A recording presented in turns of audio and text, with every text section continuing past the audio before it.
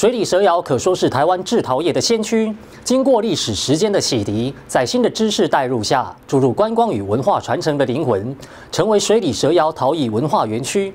县议员陈淑慧日前一访蛇窑，欢迎大众可以前来欣赏传统的陶艺之美外，也鼓励地方产业效仿。